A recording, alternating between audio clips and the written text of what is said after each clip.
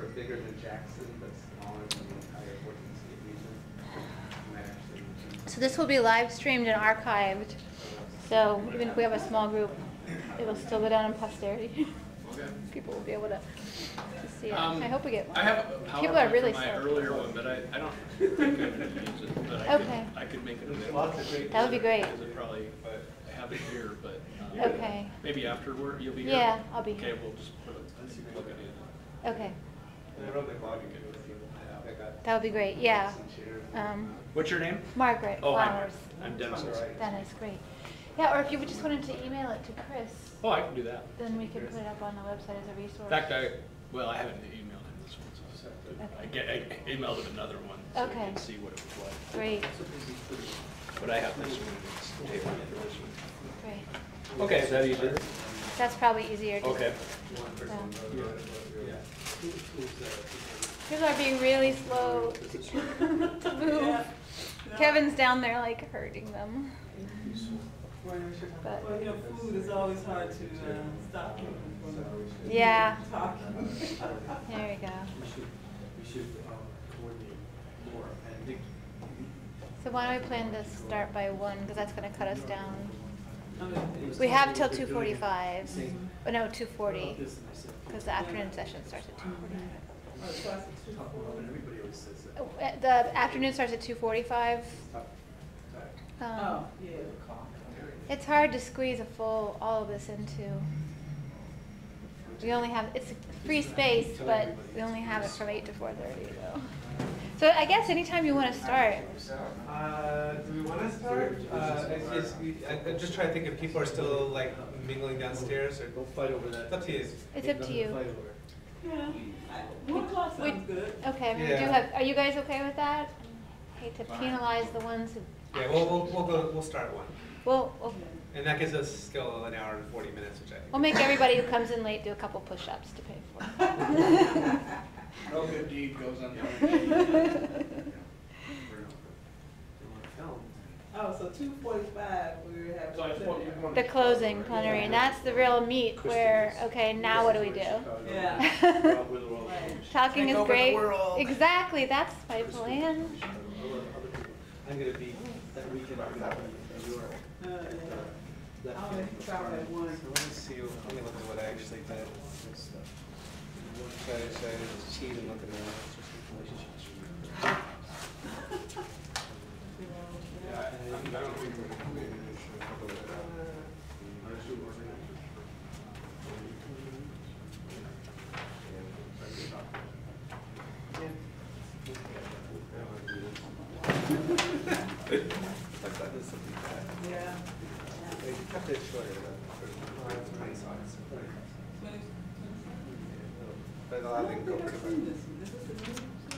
Oh, well, they're, But I they're. said never had- Workers Alliance.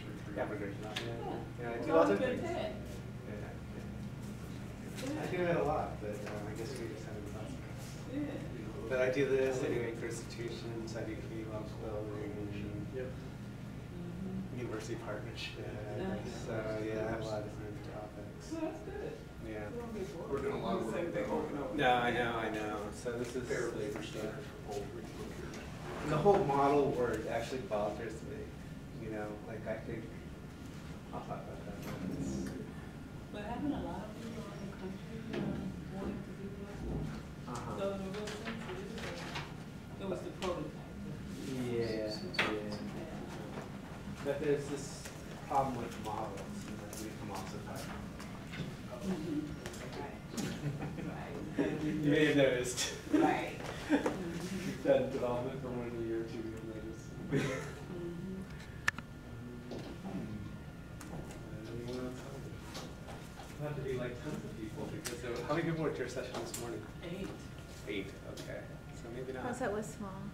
And the other co-op session, was that larger? I think it was larger, but that was the one of like existing co-ops and what are. Yeah. um, Okay. Yeah. Oh, So, here's, here's the book. I thought it was really long. yeah. Um, So, what order are we going in? You, you, you wanted to go last? Yeah, I So- know that. You wanna go first or second? I, maybe your PowerPoint's already. up there. Okay, all right. I'll do that. Okay, wanna go ahead?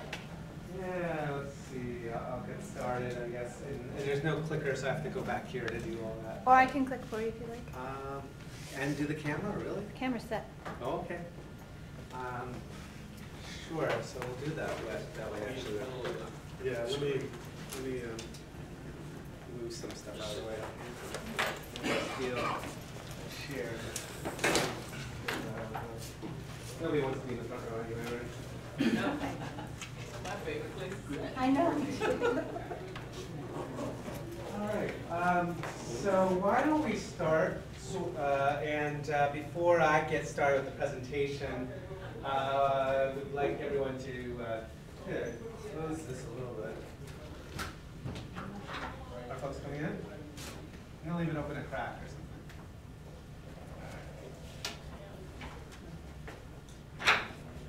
Try that. All right, um, so before we get started, um, know, my name is uh, Steve Dubb, the Research Director of the Democracy Collaborative. I thought it'd be helpful to have all of you introduce yourselves and, uh, you know, co-panelists here, Dennis Olson from the United Union Commercial Workers, uh, Ajowa uh, Ifateyo, uh from Grassroots Economic Organizing and various other affiliations, right? And so we're already your panelists, but, you know, so we're gonna talk about different models of co-op development, uh, but you can introduce yourself, maybe what group you're with, and if there's anything in particular you're hoping to get out of the session. Small enough that I think we can accommodate that, so. Uh, Yep, my name's uh, Chris White, I'm the National Coordinator with It's Our Economy, and uh, something I would like to see out of this conference is just, you know, us coming together and envisioning path forward for our project. My name is Gene Valviers, I live in Baltimore, and I'm involved with um, the uh, Public Access Channel, um, also with the Baltimore Alternative Media, and we're trying to build, um, get, um, restart the Baltimore Independent Media Center. So I'm interested in Oh, uh, wow. the community. Uh, Paolo Gregory Harris with the Ngoma Foundation. Um, We are working uh, in support of developing cooperative enterprises in low-income neighborhoods and um, really just a broader, deeper understanding of models that are out there. Uh, It's been very difficult to find models to base our work on. My name is Justin Beers. I'm the sustainability manager at the medical center across the street. And I'm interested in seeing how we as an anchor institution can partner with or help support co-ops um, to meet our needs and also to benefit communities. My name is Reginald Sims, and I work at a cooperative place in Baltimore, Red Emma's. And uh, I'm interested in seeing the different models and how we can do this specific concept. What cooperative do you work with? Oh, Red Emma's. What's the name? Oh, yeah, so, uh, yeah, John do this one, uh, staff. I'm Heather Hacks. Um, I am a collective member at a sister project of Red Emma's called twenty-six forty. Oh, yeah, been there. That, We've got one over there. uh, well, okay, you wanna go first? All right. Sure, um, I'm Amanda Rothschild, I am a worker owner at a, um, um, coffee shop also in Baltimore, it's called Charmington's. What is it? Charmington. Appropriate, Charm City, yeah. Yeah, Michael Cascade. I'm the, um, uh, I'm the North American delegate from Mondragon, and um, uh, co-founder of One Worker, One Vote uh, dot org, which we'll be talking about at the closing session with Steve and Chris. and others. Ed? Uh, My name is Kenneth S. I'm uh, the business manager for TRC, and we represent the residents and the relocation process of John Hopkins footprint. I'm also an entrepreneur. I do home improvement and real estate investing. And I'm also um, a community navigator for the Men and Family Center in East Baltimore. And behind the camera? Oh, I'm uh, Margaret Flowers. I'm co-director of It's Our Economy. Okay, thanks, everybody. So I'm gonna try to go through uh, this model that we've worked on in the Democracy Collaborative, so you'll actually see a model of co-op development. I'll, I'll, I'll say uh, at the outset that I always find uh, the discussion of models is, is sometimes problematic because it can be, um, it can be restrictive in ways that, that don't actually fit your situation. So uh, I think it's better to think about this in terms of principles uh, than, than a real model. Nonetheless, it's been referred to in the literature and so forth as the Cleveland model, so I'm using that here. Uh, next slide. Um, so this is just a little bit about the Democracy Collaborative. We've been around since 1999. I've been there since 2004. And three different things we do. Uh, research, we have a report actually that's going to come out, uh, authored by Hilary Abell, who's the former executive director of Wages, Women's Action to Gain Economic Security. It's a network of five uh, house cleaning co-ops in the San Francisco Bay Area. Uh, that'll be coming out at the beginning of June, looking at different forms of incubating co-ops. So really, this session's topic in a way. Uh, but we write a lot of different research reports on green economy, um, role of anchor institutions, um, hospitals, universities, and so forth, uh, as well as community wealth building, this notion of building wealth in low-income communities. Uh, we do field building. We have a website, community-wealth.org, uh, which is an information clearinghouse on a lot of strategies. Encourage you to visit it. It's not just our stuff. It's really tries to represent the field as a, as a whole. And, and then we do advisory work, this project-based work, which is what I'm going to be talking about here. Uh, so Cleveland's where our work is most developed, but we've also worked in Atlanta, where they're developing a greenhouse co-op that they hope to open next year. And uh, in Prince George's County, not far away, uh, next to Washington D.C., uh, there's a stormwater management and monitoring co-op that's being developed and should launch before the end of this year. Um, so that's that's our work. Next slide. Uh, so this is just a brief definition of community wealth building. The idea is to create economic prosperity uh, by democratizing wealth and ownership, in particular by broadening the ownership of, of capital. And the numbers are kind of astonishing. Uh, you're probably familiar with them, but I'll throw them out just in case, I guess. Um, in terms of income, you know, when, when I was growing up, say in the 1970s, you know, the top 1% of Americans owned, earned about 8% of all income in the United States. And today that's closer to 20%. So it's a dramatic shift that we've had in the last three or four decades. Um, not that it was terribly equitable back in the so-called good old days then, uh, but it was much more equitable than it is today. Uh, and in terms of wealth, the numbers are even more dramatic. If you, folks here, are you familiar with the Forbes 400 list? So the 400 families or people who are on that list combined have uh, over $2 trillion in assets. So that's 5 billion per person. Um, the bottom 60% of the US population has about 1.2 trillion. So in other words, 400 people have about 50% more assets than the bottom 185 million combined. Um, that's the dramatic uh, level of, and, and Gar Alperovitz, who was going to be speaking here uh, last night, I guess got uh, stymied by the trains, and uh, but he, he, he would call this a medieval figure, right? You know, you think about lords and serfs, right?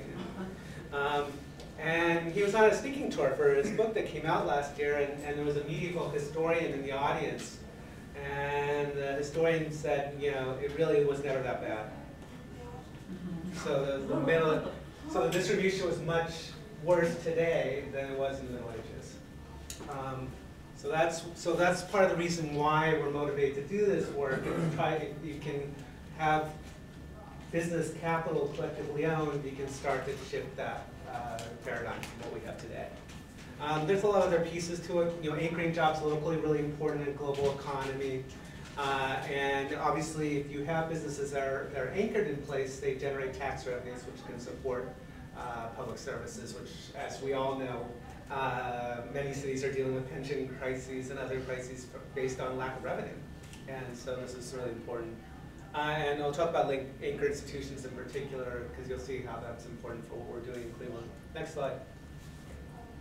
Uh, so this is a long slide. Uh, I will make slides available. I'm not going to go through this list, other than mention that you can find out about a lot of these things on our website, and uh, that in developing your own strategies, you should think about a lot of different tools. In Cleveland in particular, we're using anchor institutions and worker cooperatives. We also have a community, CDFI is a Community Development Financial Institution, so we're creating our own Community Development Loan Fund as part of an integrated system. Um, Based on, as uh, Dennis will surely mention when he talks, uh, this model in Spain called uh, Mondragon, uh, which has its own credit union that has financed its uh, cooperative development.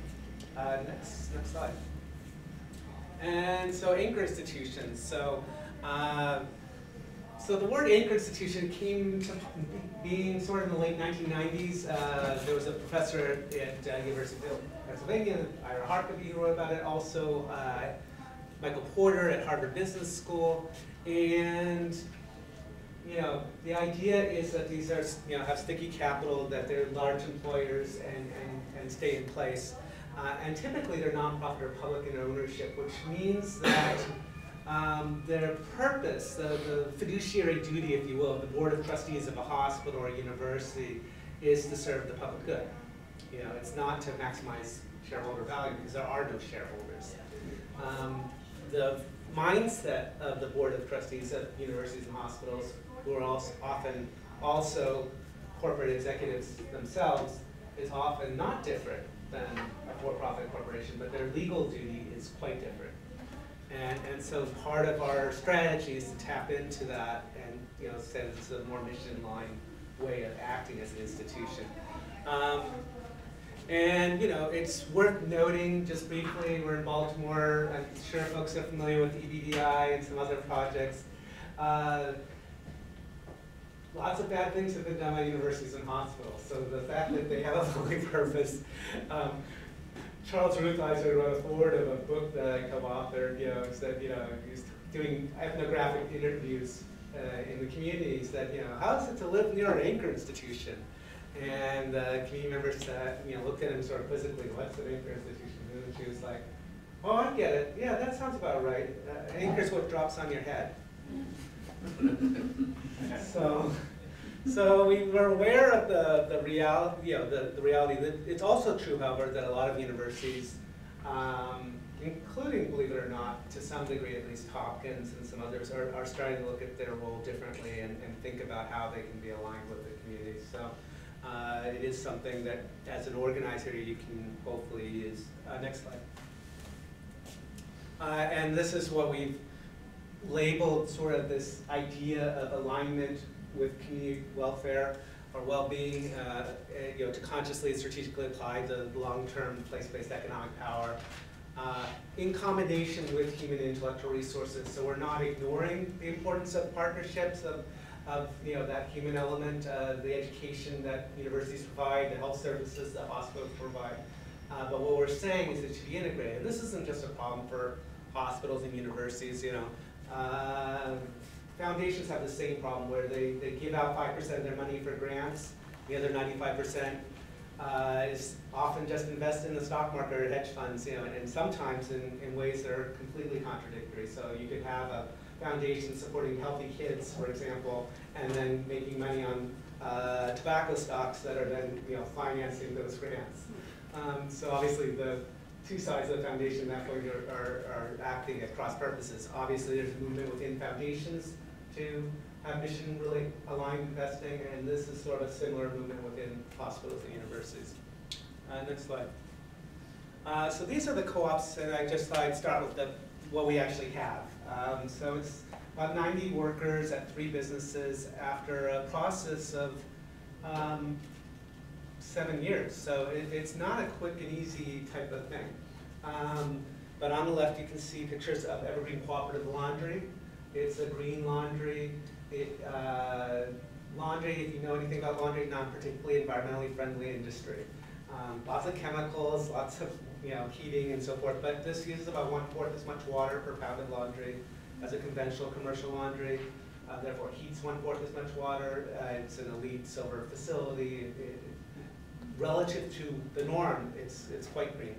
Uh, and it employs about 40 people. This is a solar and the, in the center you can see Evergreen Energy Solutions. They do solar. They also do uh, LED lighting installations. Um, employs about 20 people, and, and then the greenhouse about 25 people. Uh, Um, that's on the right, Green City Growers. Um, you know, the, the solar company has done about two megawatts of solar installation so far, um, including on the rooftops of the hospitals and universities and one of the local city halls. Um, and, and just did a is in the process of doing a ground-mounted five-acre uh, installation that'll be more than a megawatt of power. Uh, the greenhouse is still up, getting up to capacity, at full capacity. It's the size of uh, basically of a Walmart store. You know, it's about 180,000 square feet um, under glass, uh, growing area about 150,000 square feet, and uh, can grow about 3 million head of lettuce and about 300,000 pounds of herbs at full capacity. So uh, that Per- started up more recently. Per, Per Per year, per year, yeah. So it's about three percent of the Northeast Ohio lettuce market. Um, the laundry would be about four percent at full capacity. Um, laundry and solar at this point are past break even, are actually profitable. This, the greenhouse is still in startup. Um, next slide. And, you know, why did we do this? Why did the institutions do this? So this is a map from two thousand six. In other words, it's before the Great Recession. Um, and in the center, you can see the Cleveland Clinic on the left, uh, Case Western Reserve University on the right, is up above that is University Hospitals. Uh, up above that, uh, somewhere there's VA Hospital. You can see there's there's not a lot of dots in that inner circle, which is known as University Circle. It's kind of a second downtown in Cleveland, Ohio. Cleveland, a highly disinvested city, um, went from 900,000 people in 1915, 1950 to about uh, 390,000 as of the last census. So a drop of about 500,000 people over, you know, half century. Um, surrounding, you see all these dots. These are water main shutoffs, uh, tax liens, uh, basically indications of foreclosure. And as I said, before the Great Recession.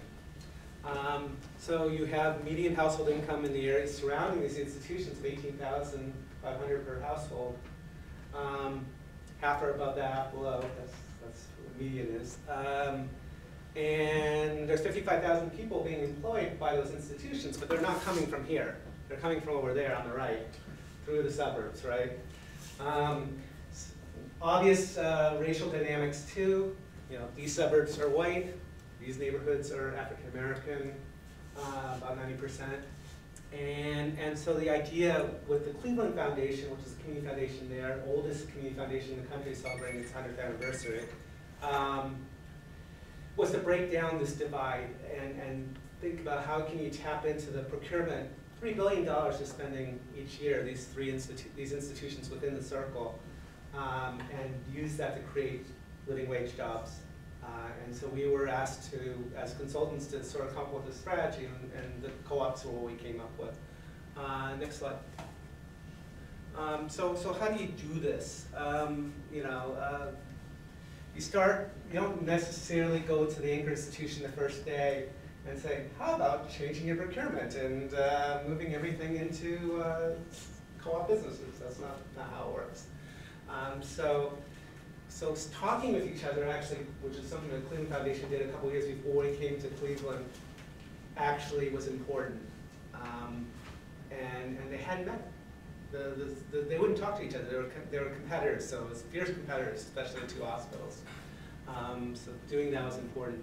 Uh, start with uh, easy steps that are in ins- institution self-interest. So what, what the foundation did, they worked on two things, transportation, getting state dollars into the neighborhood basically to redo transit stops, um, and uh, employer-assisted housing, so getting uh, subsidized housing for their own employees.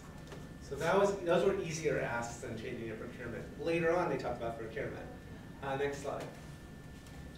Uh, so this is the work that we've done, not just in Cleveland, but in those other cities that were listed. Um, it- I didn't even know it was market research when I started it, you know, but we're doing lots of interviews and coming up with ideas for businesses, and that happens to be called market research in business school. Um, and so, you know, you can only do so much through NAICS codes. I don't know if you know what NAICS codes are, but every North American Industrial Classification System.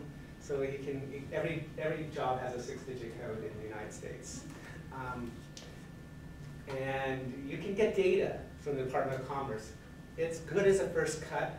It won't get you anywhere in terms of actual business development. Um, so we, we met, met with folks, folks in the universe, uh, you know, within the decision makers in different departments and on the community development. And about 30 of those folks were actual supply chain folks, and uh, that was critical to try to find areas of, of interest. Next slide. Um, so, you know, one thing, just a couple sort of lessons that came out of the interview. One is, you know, the first thought was that this was just a charity ask. They're used to getting nonprofits asking them for benefits. So the idea that they were actually, being asked to do a business proposition required convincing. Um, and uh, they, this active listening is important. We ended up developing green businesses in part because of environmental principles, but also um, really because that was what they wanted. They had signed climate agreements and so forth, so those pro pronouncements that they make sometimes are important. And the reality is community development is somewhat, can be, it can have ambiguous effects. You improve the neighborhood, but you force people out, or what have you, right? You know, so gentrification being an obvious example. Institutions are leery about being involved in that. So if they could say they were reducing their carbon footprint, which is pretty unassailable, use it, you know, you can measure that to the you know, metric ton or whatever. Um, that was an easier ask, and then they were happy to do the community-owned businesses provided they had these, you know, firm deliverables that they could count on. And next slide.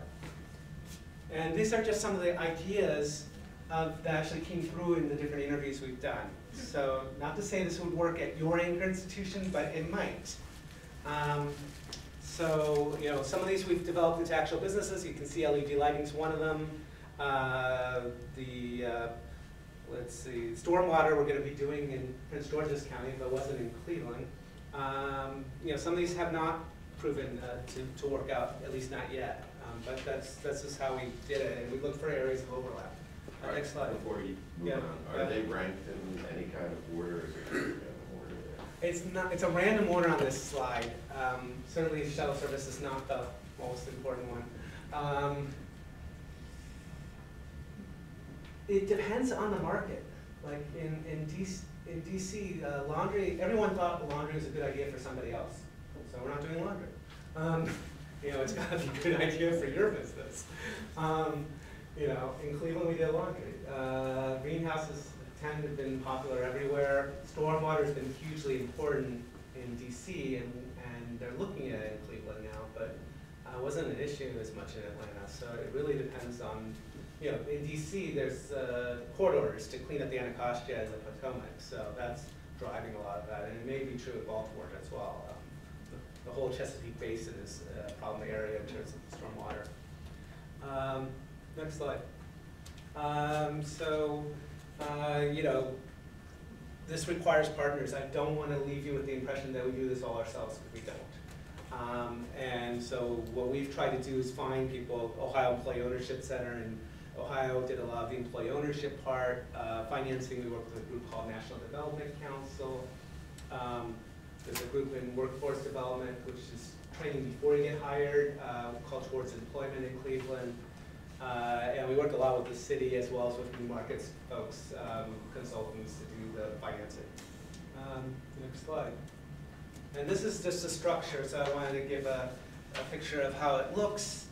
Uh, so there's a nonprofit corporation. Uh, Evergreen Business Services is essentially hires the managers. They provide support services uh, to the different co-ops, uh, HR, accounting, payroll, so forth. Um, there's a land company that's owned by the, the uh, by the nonprofit. Uh, there's the loan fund I mentioned. Um, the co-ops themselves, 80% of the ownership is in the employee owners, 20% is in the nonprofit. The way it's done is as a multi-stakeholder cooperative uh, with Class A and Class, actually Class C shares, because we have Class B that's not used for potential outside money. Um, but the, basically, to do something like the sale of a company, you would need a majority of Class A voters and a majority of Class C voters. What that means is that the nonprofit has a veto over selling or dissolution of the company. Um, you could imagine a company being so successful, the competitor wants to buy them out, and it offers them a good price. We didn't want that to happen. Um, next slide. Uh, so these are different elements, I'm gonna try to go through this quickly because I'm taking a little too much time, but these are the elements that, uh, you know, when we go to a different city, we try to look for, who's gonna champion the project? Uh, who's gonna do the, who's actually gonna do the business development? Uh, is there some kind of community development loan fund or financial institution that can be a partner? Uh, who's gonna do the workforce, uh, training work? Is there city or county government backing? That's important, not because they're gonna give you money, but there's a lot of federal resources like community development block grant money that, uh, they have the power to allocate. Um, and we've used, uh, something called section one oh eight of the community development block grant law, uh, which allows for borrowing for, at low interest rates to start businesses. Uh, and of course, support from the anchor institutions and, and support from the community as well. So those are some of the things that we're looking for in, in different cities when we go. And sometimes it looks viable and sometimes less so. Um, next slide. So this, as I said, these I'm gonna have to go through really quickly just to give time to everyone else. These are some of the things we look for from a project champion. Particularly the convening is most important. The money is important too, but having that ability to bring people together. Um, next slide. Uh, business development. So we do the market studies. We don't do the actual business planning, which you would look at the amount of capital you need, who are your competitors, those kind of industry-specific things. Uh, as well as finding managers, which is one of the hardest parts of this. Um, next slide. Question. Yeah. Um, when you say, what do you mean by manager? Well, you have to hire somebody, well, you don't have to. I mean, you could have a man, you know, we're trying to do businesses that are, you know, twenty to forty people. Right, right. And, and so the idea is you, you try to get somebody who's industry, has industry-specific knowledge to get the business actually functioning. Yeah, yeah. So, I mean, that is a choice, you know. Um, uh, community loan fund incubator, I talked about that, I think, but new markets tax credits are important, just to mention. Uh, they're the uh, lending, they, they, what they do is they convert in, they give you low-interest loans. They also, a portion of the, of the new markets tax credit actually converts into equity after seven years. So, for example, the laundry had a five million dollar new markets tax credit allocation, three point eight million will get paid back to the investors. They get a $2 million tax break, so they come out ahead. You do three point eight plus two, it's more than five. Um, but the one point two that's left over at the end, after seven years, is cash, which is hugely important for, for building your projects. Um, Unfortunately, there are about four hundred thousand fees you have to pay on that, that's a different story. Uh, next, next slide. Still, one point two million is better than four hundred thousand, so you come out ahead too, believe it or not. Um, so, you know, doing customized education and training and continuous education and training, really important, and it's something that we underestimated how important it was. Um, so we can talk more about that, Q and A, next slide. Uh, local government. Um, so I think I talked about CDBG in section one oh eight. Um, they can also help with land assembly, which can be very important. Um, it's hard to find ten acres in the same place, which is what we need to do, even in Cleveland where there's lots of vacant land. That's, has to be in the right, has to be contiguous, and it has to be zoned correctly to be able to do anything with it. Um, next slide. Anchor institutions, so, you know, you need anchors to be willing to talk to you and actually share confidential information to make this kind of process work. Um, and, you know, it helps, the more you can link it to their main mission, public health, you know, we know that uh, for hospitals that the, that the, the biggest determinant of, of healthcare outcomes is poverty. So if you can reduce poverty, that actually improves health, which helps the hospital's bottom line. Uh, for, for universities, you know, engage, there's a lot of information on engaged scholarship and why that, having um, researchers and students working in the community actually is useful and for the university as well as potentially helpful for the community. So, but you have to make those cases. Uh, next slide.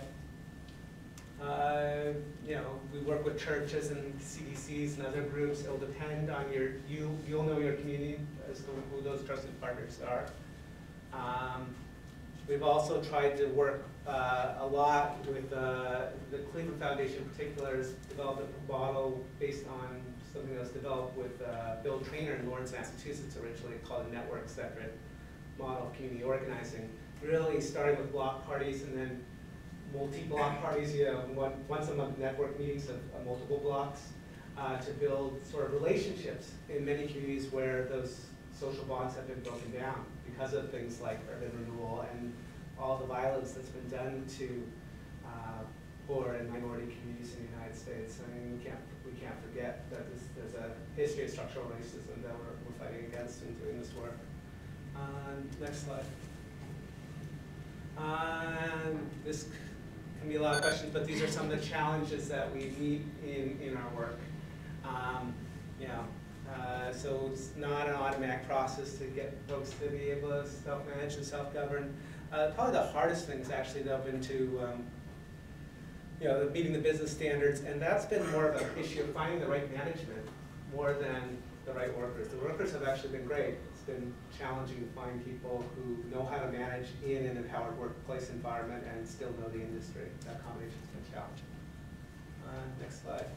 Quick question on Yeah. that challenge. Yeah. Um, Is it easier to find, is it easier to train the manager in the industry or in the, the model, the cooperative model?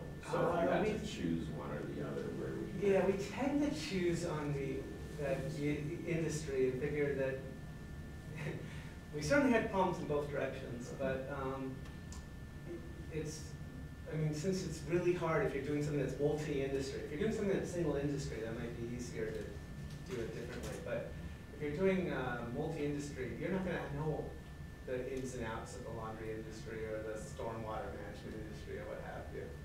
And so you kind of have to hope that the person you hire has that expertise and then is, you know, open to being educated in, okay, this is a different type of business model and, you know, where we're trying to empower, you know, the worker owners and so forth. Um, And, uh, so that's, there's no automatic, we, we got somebody from laundry once who knew the industry in and out and just wasn't right for this environment and no longer there as a result, so we've had to make those kind of changes. Uh, but, but would, if you had to choose, I would choose on the industry. Um, some basic lessons that I think fit for any model maybe. Um, you know, to start with developing assets, not look at what, what, what already exists in the neighborhood and build off of that, rather than just, oh, what are the problems of, you know, poverty, unemployment, so forth. That, that only gets you so far, so it's really important to identify what are your building blocks. Um, inclusive approach to, to, to decision-making, uh, develop the vision, you know, it's really easy to say, oh, this is impossible because it costs a lot of money, which it, it does cost a fair amount of money. Um, but, um, if you have the vision, you can often acquire the money, and a lot of this, like the laundry is a five and a half million dollar business, but the philanthropic contribution to it was seven hundred fifty thousand, so it- you can leverage a lot of resources if you have a viable business plan. Um, and, you know, my last point, you know, this is just one model among many, and, you know, I think, you know, as we do, as this work becomes more common, keep in mind how rare worker co-ops still are in the United States, less than five thousand people in worker co-ops across the United States. Um, but as this becomes more common, I think we're gonna start seeing a lot of elements of different models brought together. Um, Next slide, and I think that's it, so, uh, move on to uh, Dennis, and I think, I, I don't know, how do we wanna do, do we wanna do questions at the end, does that make sense, or do you wanna do that? At the end. Yeah, okay, sounds good, thanks.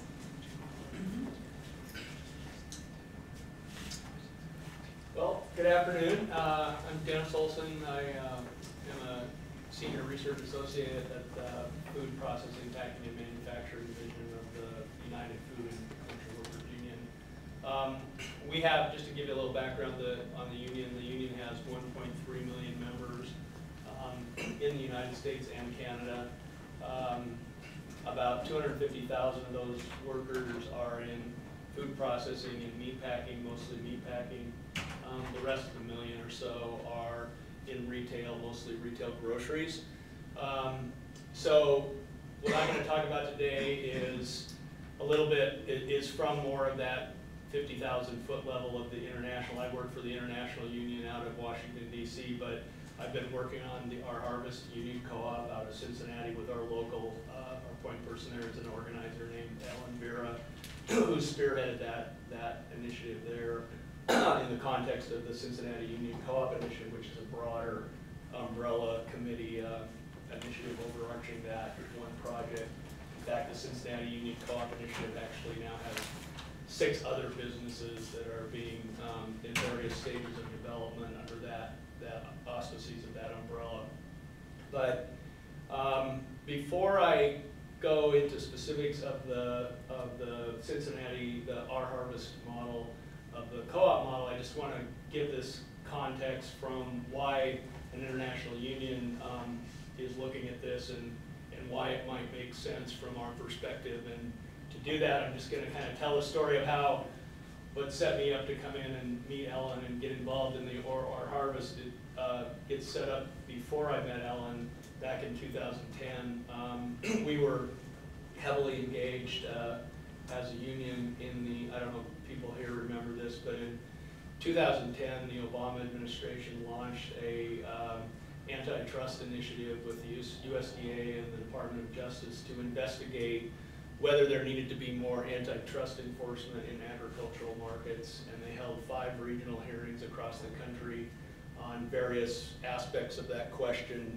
different uh, sectors, dairy, poultry, livestock, crops, et cetera, retail, uh, and all that sort of thing. And so we engaged heavily in that process. Uh, We turned out our members to all five of those regional hearings. Uh, Our leaders spoke on some of those panels. Um, And we generally supported, sort of, we lined up with the progressive farm movement, the, the family farm advocates who were demanding more antitrust enforcement and more uh, fair price for farmers. Um, And we generally supported the whole initiative and supported fair prices for farmers.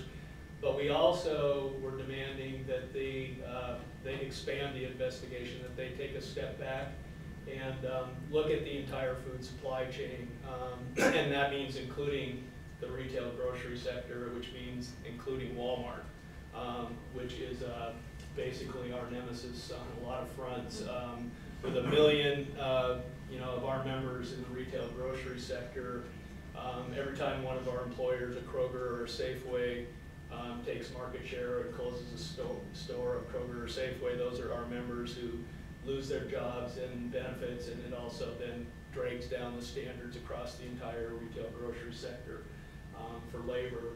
And so that's, you know, a big concern of ours. Uh, We're also concerned um, because of the rise of, uh, the the unprecedented rise in Walmart's buyer power and the model that it has created that everyone else is basically trying to emulate. Um, And so in 1987, Walmart wasn't even selling groceries, um, and today they're about 25% of the US market. And they're bigger than their next three competitors combined. So that's how dramatic of an increase that was. And from an antitrust perspective, none of that was ever reviewed because the only entry point to review it is in the context of a merger. Um, that's the only time that the Justice Department, um, or the FTC would look at that is if there was a merger, and of course with Walmart in the United States, there never was a merger. That just, that was just organic growth of the company, so it never had any, uh, antitrust review. So in our, ba- we wrote, released a report called Ending Our, uh, Ending Walmart's Rural Stranglehold in the context of these uh, hearings. And the basic um, arguments in there was this argument that we needed to expand the investigation. And mainly what we were talking about is that we needed to bring the, the, the Federal Trade Commission into the investigation along with USDA and the Justice Department um, because the federal FTC actually has the primary jurisdiction over the retail grocery sector. So the USDA and, and the Justice Department have some overlapping um, authority there, but generally, but primarily, if you're gonna do antitrust enforcement against a Walmart or anybody in retail grocery, you have to go through the, the FTC is the one that has to do it. Um, they have the expertise, and so we wanted them at the table because we wanted everybody to take a step back and look at the entire food supply chain. Um, because even though we were, so we were in favor of farmers getting a fair price, but because of this unprecedented buyer power, our concern was, say that they actually won and they got a fairer price and a bigger share of the um, retail food dollar, um, that would be all well and good unless you don't address the Walmart buyer power problem, um, in which case you would still have the Tyson the JBSs and all these major employers that we have, in addition to the retail sectors, um, you know, those companies like Tyson is the biggest meat packer in the country, um, and they sell twenty percent of their production, uh, of their meat production to Walmart, which is about thirteen billion dollars a year. So Tyson cannot walk away from Walmart. So if, if, if, if Walmart says they want organically grown or antibiotic-free chicken or whatever it is, that all costs money. And if Walmart says, we want that to Tyson and it's gonna cost money, and Tyson says, well, it's gonna cost money, we can't do it. Walmart's gonna say, well, too bad, you know, if you don't want it, we'll go find somebody else to buy the twenty, your twenty, percent of your production from. So Tyson really can't walk away from that. So what Tyson does is that it's, it's a big producer, and so it squeezes everybody else. It'll, it'll go ahead and say, we can't give up Walmart, so we'll squeeze everybody else down the supply chain.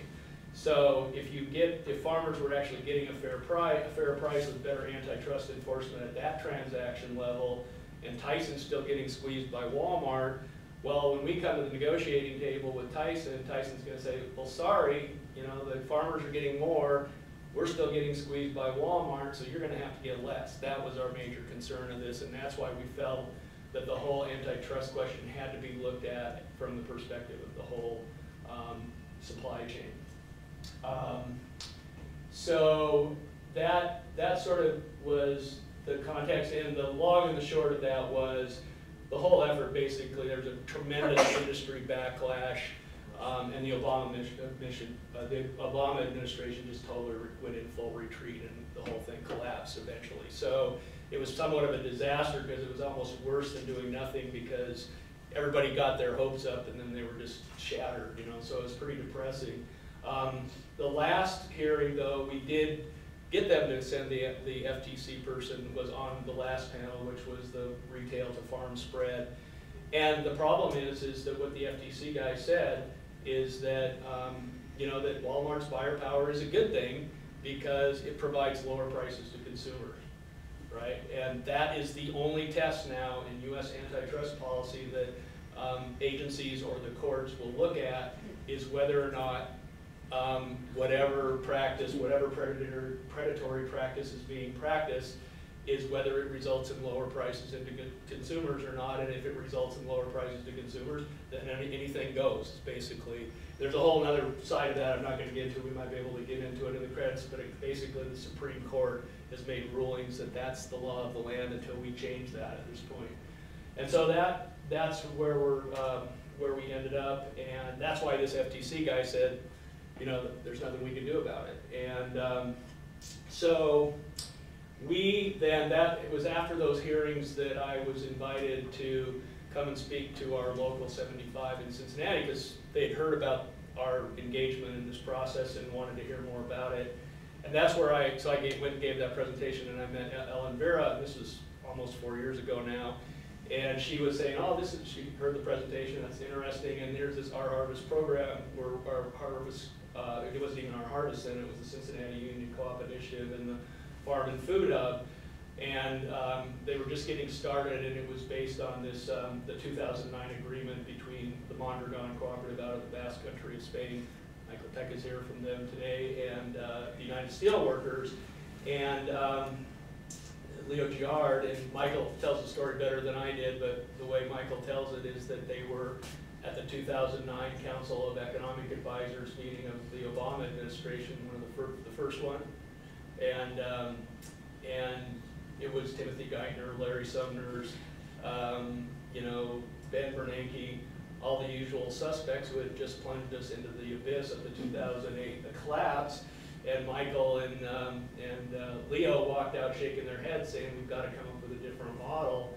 Um, we can't just go and do the bait and Wall Street bait and switch model again because people are tired of that. And and I think what was happening is, you, from what, what my limited experience with Cincinnati is, is that there was sort of an old guard of labor folks there that had actually been to Mondragon a decade or so earlier and were very inspired by it and had been thinking about how would they bring the Mondragon model over to the U.S. and incorporate it into the labor union the labor movement here. Um, and then you also have this younger generation of Ellen's twenty-something generation that are also very fired up about trying to do something. And so, for my, what my take on it is, is that when that two thousand nine agreement, um, happened, that was sort of catalyzed them into action. And they created what was called the Cincinnati Union Co-op Initiative. And they brought unions to the table and other community groups and community leaders to the table and had a discussion about the model, wanted to go with the model, and then they had a discussion about what businesses made the most sense, given who was at the table, especially, uh, you know, from the, especially the unions and the sectors they were representing. And so one of the first six businesses that they chose and that UFCW wanted was a farm and food hub. And so we are, the, the Cincinnati Our, Our Harvest Co-op, Union Co-op is a farm and food hub. Um, so we're food workers and that made sense. And, um, Ellen has been working on that now for over three years. We're going into our third year of harvest. We're at fifteen employees and about eight of those are full-time year-round and about seven of them are, uh, part, uh, full-time seasonal. We're farming ten acres and at least another hundred acres. Um, and I think part of it is that Ohio is unique in that it has these amazing resources there in, in Ohio State University and others. And I think part of it actually goes back to like the steel workers in the eighties where they were experimenting with trying to buy back steel plants that were being shut down after NAFTA, et cetera. And um, so one of the groups that's helped us out over this, over this project has been the Ohio Employee Ownership Center that I think came out of that effort in the, in the eighties and nineties. And then uh, Ohio Cooperative Development Center, the Ag Extension Service is very progressive, very helpful on these, on the food farm and food hub side. Um, and they're all sort of housed under uh, the umbrella of the Ohio State South, South Center. So that was an amazing set of resources. And these guys, I mean, so Ellen was really the only paid staff person for the first three years or so.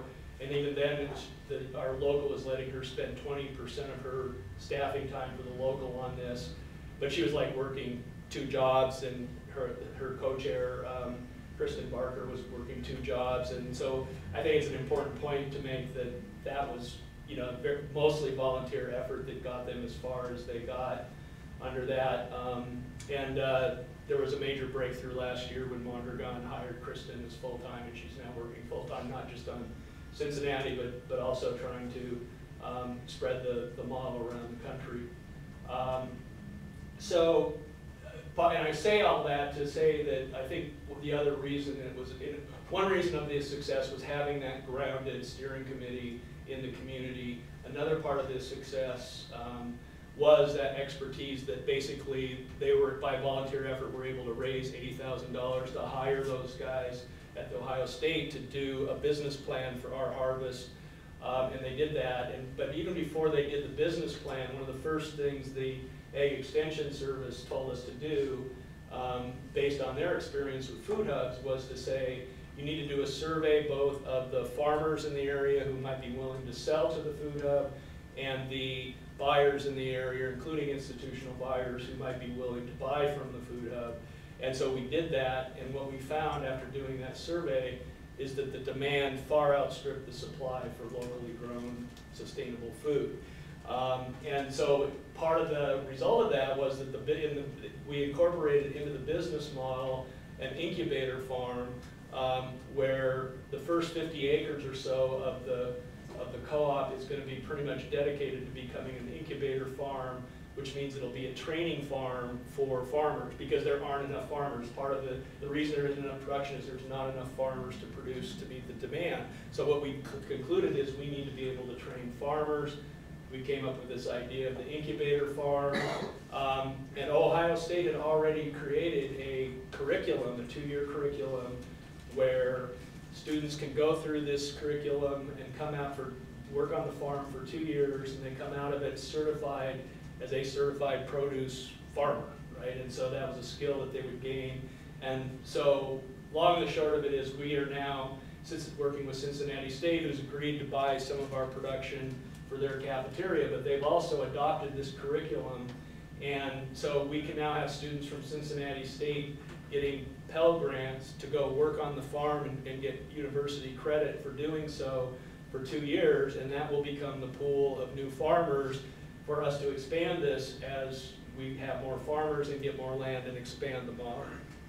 And so, um, I, I just mentioned we're at, um, ten acres, uh, of production right now. We have this, we've now leased this hundred acre farm.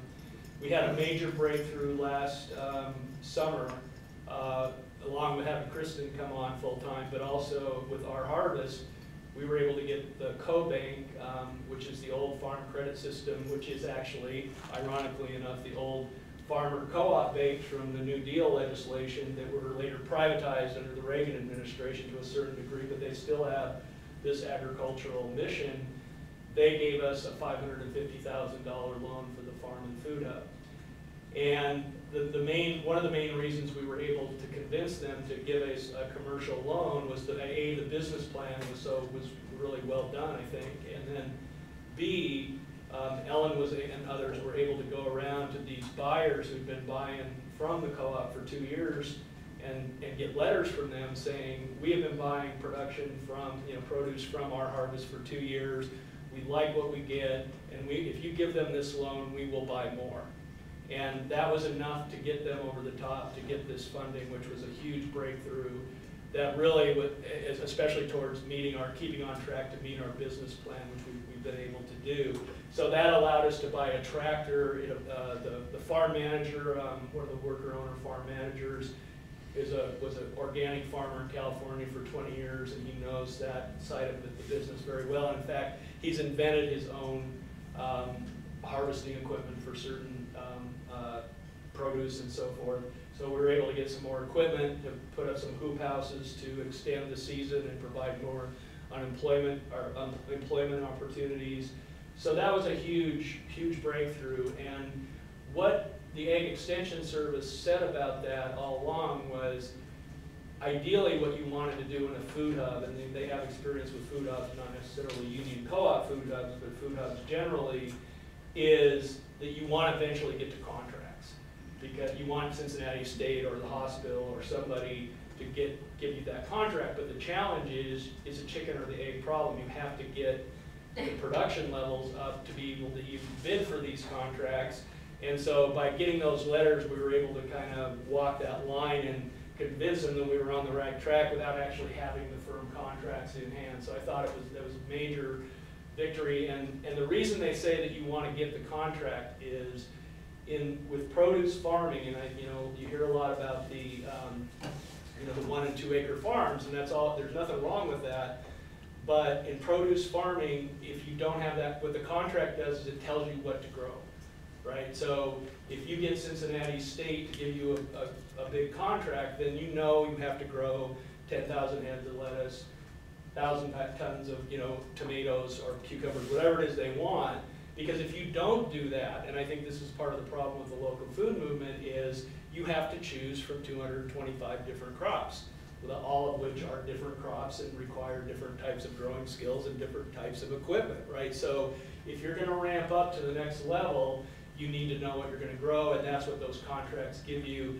And that allows you to ramp it up, and then it also allows you to go to the lender and convince them that you're gonna have enough volume, somebody's gonna buy the volume and make your loan cash flow. So that, that is a key part of that. Um, and I, I just one, I guess one final part of this I think that I'll touch on and then I'll, I think I'll quit. Um, but, and open it up, you know, get back to any other questions. But, um, I think the other point is, so we're at ten acres with fifteen workers right now. We have this hundred acres lease.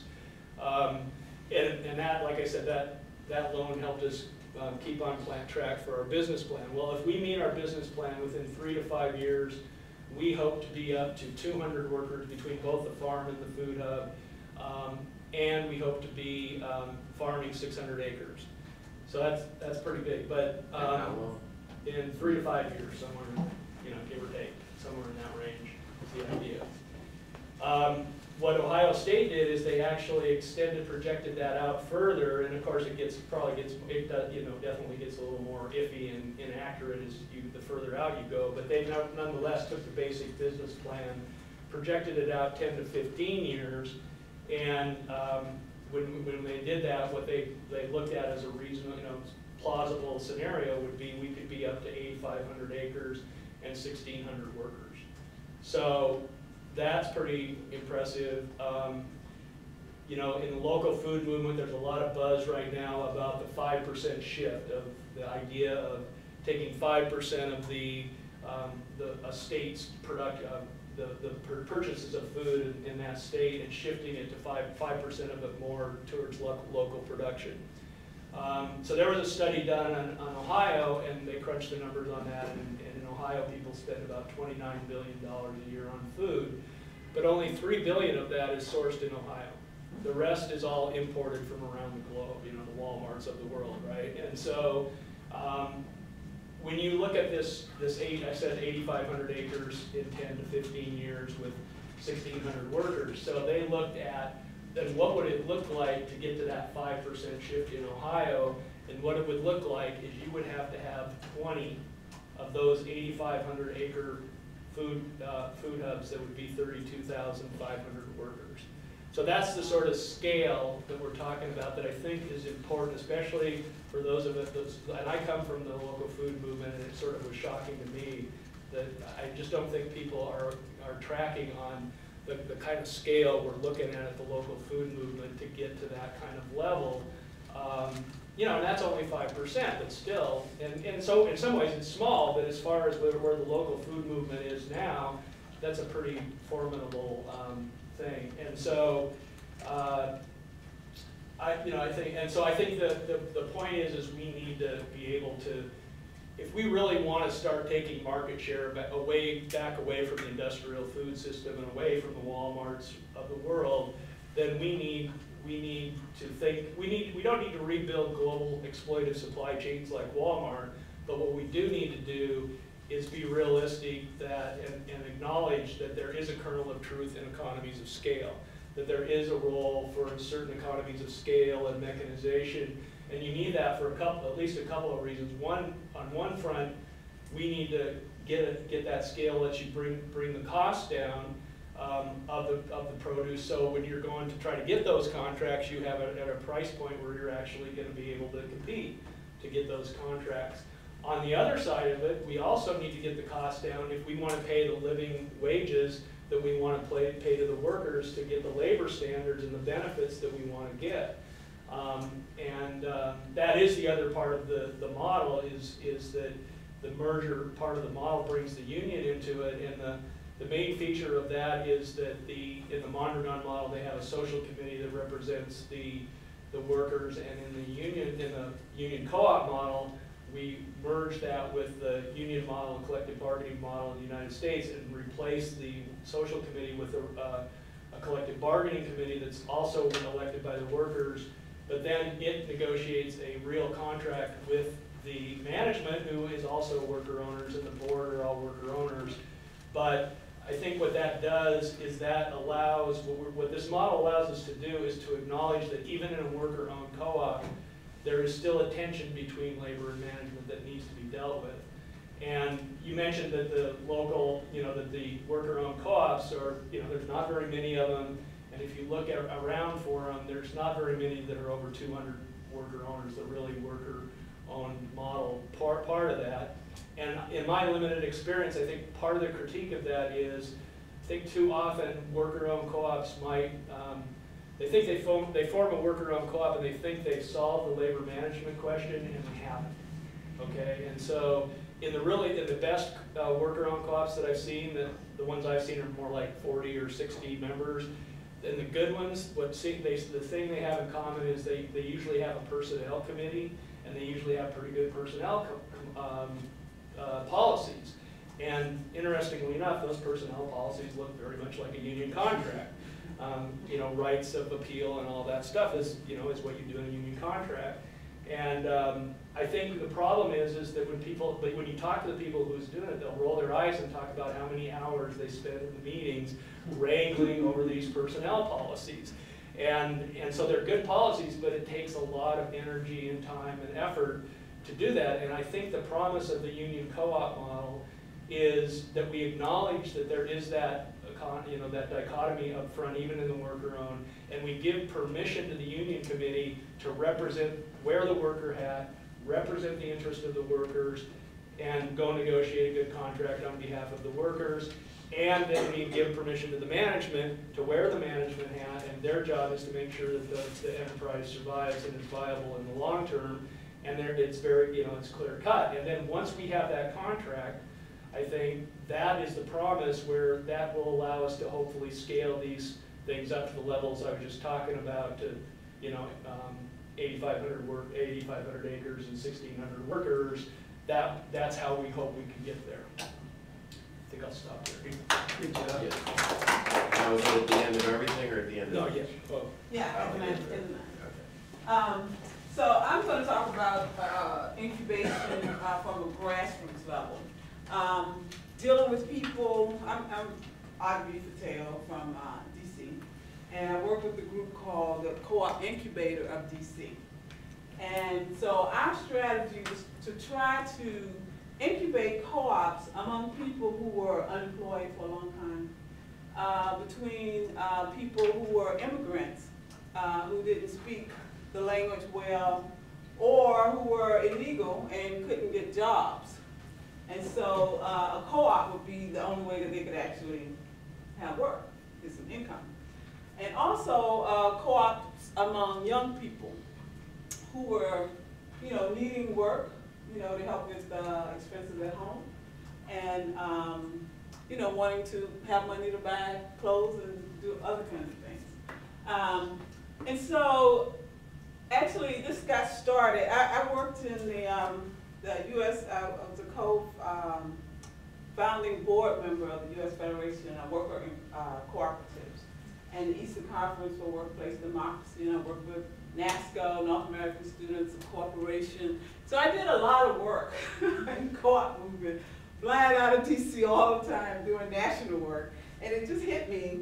Um, actually, I went to uh, Mondragon in 2011 and um, you know, was of course impressed by all of that. And it just hit me that locally, I had not been doing any work on co-ops. I was flying all over the country, doing it everywhere else except for Washington DC. So when I came back, um, you know, I tried to uh, get some people together. I actually had a, a report back. And um, one of the things that I really like um, that Mondragon does is this Saiolan um, uh, project where they help people to uh, start a business. It could be either a co-op or it could be a um, for-profit business, but you know they give you the space and the time to really do your research and figure out what it is you want to do and what you need to do to get it off the ground. And so, you know, take, taking a little bit of, from that, we kind of tried to do uh, co-op um, uh, uh, uh, incubator with uh, those three groups of people and try to figure out what it is that people need to do a co-op. And one of the things that we found out is that in what some people will call marginalized community, but it, it affects everybody. I think we all have what I would like to call uh, internalized uh, oppression, where we might think because we're working class that we don't have the skills to run a business or to be in a co-op. That that's something you know rich people do or smart people do. People with education, uh, that's what they do. Uh, if you're a person of color, we've been taught in this country that you just aren't smart enough or whatever to do those kinds of things. That's something white people do. Uh, if you're a woman, that's something that men do. You don't have the smart sort of to go get them or uh, whatever to do this kind of work. Um, you know, if you're uh, just differently able, that's what able people do. They go out and start businesses.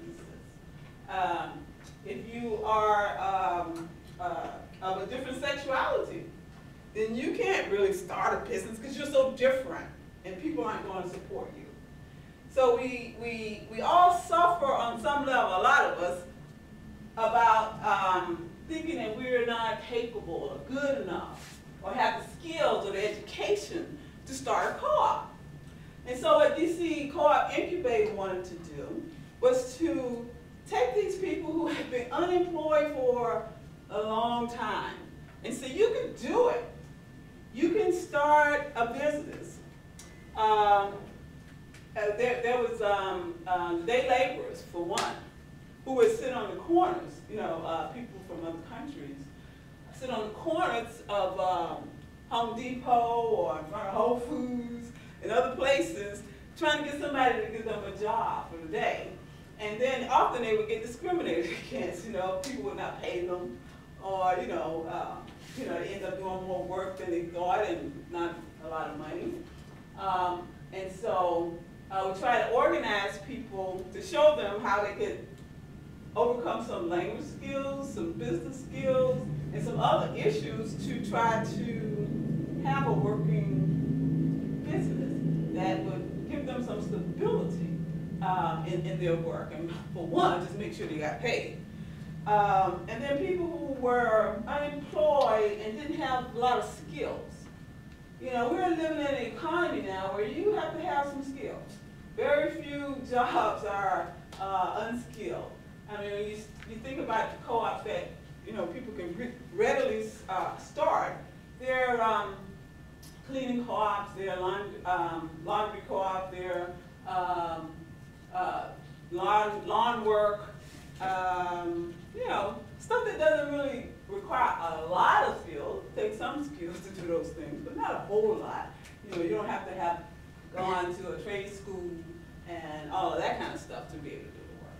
Um, so we wanted to, to, to get um, co-op businesses started that people could start pretty easily without a whole lot of capital involved, uh, without a whole lot of uh, too much of anything. And so, you know, except your, your desire to really work. And so the whole idea was to have um, a, a group of professionals who could provide accounting, um, administrative skills, um, of course, you know, do um, uh, marketing and other things uh, to help get a business off the ground. Uh, and of course, one of the big, big things was education. Education and uh, what I call um, uh, I don't even know what you call it. It's like uh, reworking the mind.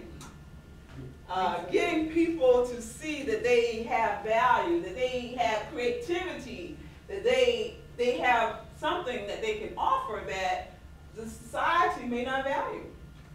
Um, you know, they're really quick, they're creative, they're um, any number of things that can be utilized as a skill, as an asset, um, to, to help the co-op. And so we developed uh, uh, what we call a layer. We, we had a core group. We met like two, two years.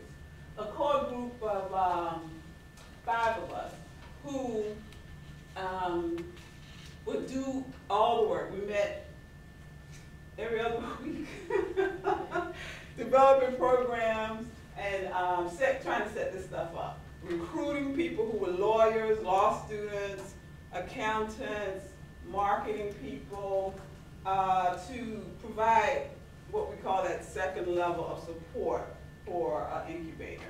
And then um, we worked a lot on an education program. And education and married with uh, business, uh, uh, what do you call it, business plan uh, writing. So we didn't just have education. We'd, um, we, we talk about uh, a, a, subject and then give you homework. Um, and everything we set up, the, the program was to help the co-op get to the point of writing their own business plan. So you're learning and you're writing and you're doing at the same time. And in class, you, um, you know, we talk about what you learned, your homework, what you got out of that, um, what you realize you need to know in addition to what you thought you needed to know. And um, so, you know, we kind of work that, that process of um, learning, doing, and talking. You have to get people educated, you have to get them used to talking in a group. You have to get them to understand that they have value. Because in a million different ways, we're told that we don't have value. And so that's a really big piece, the, the, um, the reworking of the mind, the reworking of the heart, the, um, the validation of your creativity and your innovation, um, the giving of hope. Hey, yeah, I can't get a regular job out here, but if I get together with two or three people, then maybe we can um, Start something. start something. We can make a little money. and, and, and that was a really good um, uh, uh, business opportunity with um, interpretation in DC, and probably in Baltimore too. Because there's, there's never enough interpreters, interpreters in hospitals, courts. This is, you know, this all kind of need for it. But um, that actually turned out to be very hard to do because, you know, we, we live in an individualistic society.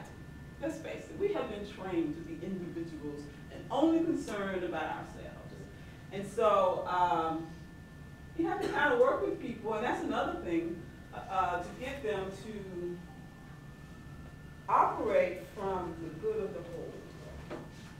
We're trained to be very selfish and concerned only about ourselves or our family or whatever. And so that's a process. And um, and so we we uh, we talked with a lot of people who had done um, incubator work in New York and um, Sunset Cooperatives with the Texas. Um, Texas yeah, right. And so Cooperation Texas. We, um, you know, all of this was done on volunteer time. You know, some of us had jobs, some of us didn't. And so, um, what, you know, after talking to a couple of groups, we came to the conclusion that this work was so involved that we needed a lot more than we could have given. Because, you know, we developed a 12-week education program. And so people can learn in 12 weeks. But you're like throwing people into who maybe, maybe who have not had a lot of uh, uh, experience doing certain kinds of things. Well, now you've trained them and you set them up and you expect them to, to function. And what we learned, in particular from Cooperation Texas, was that, oh no, it doesn't work like that. You have to work with them for months to get people used to taking power again, because they've been told, you can't do this. And so even though you're telling them, yes you can, you can do it, you know, they, they have that self-doubt, they have issues at home that come up, there's all things that keep people from functioning at their best. And so there's a need to, to really hold hands a lot longer than you ever think. And so, um, so the, bottom line is the organization uh, disbanded because we did not want to start something that we couldn't finish.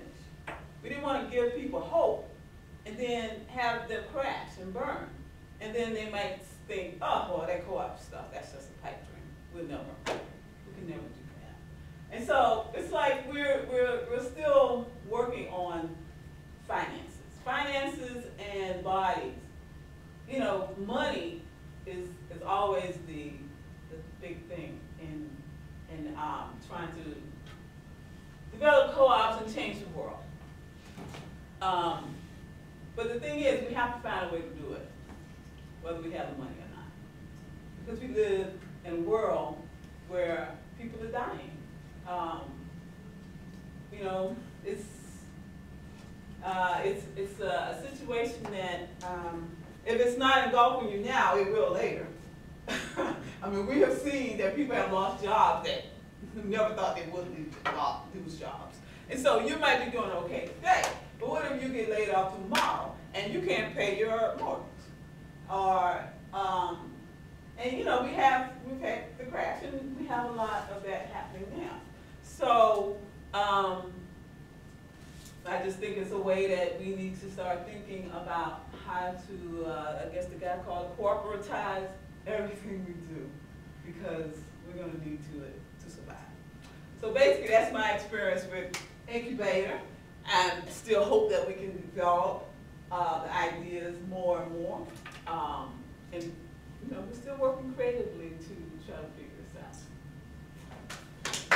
So I guess we can all sit up Yeah. with questions then. I think we still have like a half hour, so we're a lot of time.